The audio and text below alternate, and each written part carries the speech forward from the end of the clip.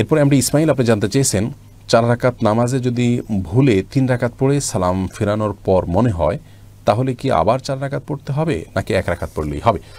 ভাই ইসমাইল, চার রাকাত বিশিষ্ট সালাত, সেটা জামাতে হতে পারে, ইমাম সাহেবের এই ভুলটা হচ্ছে এমন হতে পারে, মুক্তাদিরও হতে পারে যে চার রাকাত বিশিষ্ট সালাতের তৃতীয় রাকাতে তিনি ভুলে বসে গেছেন। সালাম ফেরানোর পর মনে হলো, বা পেছন থেকে মানুষ লোকমা দিল, তারপর জানা গেল যে তৃতীয় রাকাত ছিল এটি।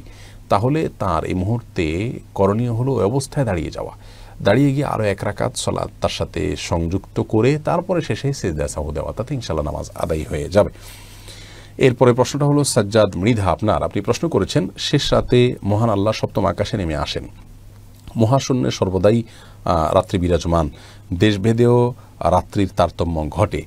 কোনো কোনো দেশে সূর্য সাময়িক সময়ের জন্য অস্ত যায়, তাহলে এই হাদিসে, এই হাদিস কি যুক্তিযুক্ত? বাই সাজ্জাদ মৃধা, এ বিষয়ে পূর্ণাঙ্গ একটি ভিডিও আমাদের আছে, আপনি সেটি দেখে নিলে ইনশাআল্লাহ আশা করি পরিষ্কার হয়ে যাবে আপনার কাছে। এখানে সংক্ষেপে বলে রাখছি যে, আল্লাহ রব্বুল আলমিন রাতের শেষ প্রহরে দুনিয়ার আকাশে নেমে আসেন। এই বিষয়টি যেই ভূখণ্ডে যখন ভোর রাত বা রাতের শেষ প্রহর, সেই ভূখণ্ডের মানুষের জন্য প্রযোজ্য। আল্লাহ রব্বুল আলমিনকে আপনি আমার জায়গায়, আপনার জায়গায় রেখে যদি আপনি কল্পনা করেন, তাহলে এটি মেলাতে পারবেন না। আল্লাহ তো স্রষ্টা, আমরা সৃষ্টি। লাইসা কামিথলি সেই আল্লাহ কোরআনে বলেছেন, তার অনুরূপ আর কেউ নয়।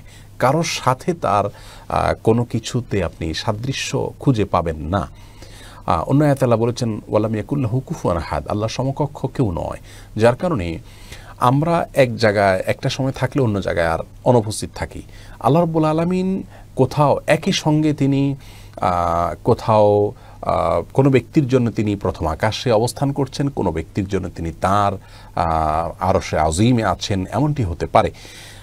অতএব পৃথিবীর যেই ভূখণ্ডে যখন আপনার ইয়ে হবে ভোর রাত হবে, তাদের জন্য আল্লাহ রব্বুল আলমিনের আকাশে নেমে আসাটা দুনিয়ার আকাশে নেমে আসাটা প্রযোজ্য হবে।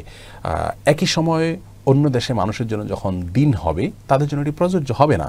এখন আল্লাহ রব্বুল আলমিন এক সত্তা, তিনি এক জায়গার জন্য, মানুষের জন্য এক রকমের প্রযোজ্য হচ্ছেন, আর জায়গার মানুষের জন্য তার সে অবস্থাটা প্রযোজ্য হচ্ছে না। এটি বোঝার জন্য আল্লাহর একটা ক্ষুদ্র সৃষ্টি মানে আল্লাহর তুলনায় ক্ষুদ্র সেটি বলছি সূর্যের কথা যদি আপনি বলেন, সূর্য সে উদিত হচ্ছে। তো যখন সূর্য উদিত হয়ে আমাদের ধরুন বাংলাদেশে আলো দিচ্ছে, দিনের আলো আমরা সূর্যের মাধ্যমে পাচ্ছি, একই সময়ে কিন্তু সূর্যের এই অবস্থানের কারণে অন্য জায়গায় অন্ধকার হচ্ছে, রাত হচ্ছে। তো আল্লাহ সৃষ্টির জন্য যদি এটি প্রযোজ্য হয় যে একই সঙ্গে সে এক জায়গায় দিন হওয়ার কারণ হয় আর জায়গায় রাত হওয়ার কারণ হয়, তাহলে আল্লাহ তাল্লার জন্য এটি অসম্ভব কোনো কিছু নয়। এটি আমাদের সাথে বা আল্লাহ সৃষ্টির সাথে তুলনা করলে বা আমাদেরকে দিয়ে বিবেচনা করলে সেটি কোনোভাবে মেলানো সম্ভব হবে না।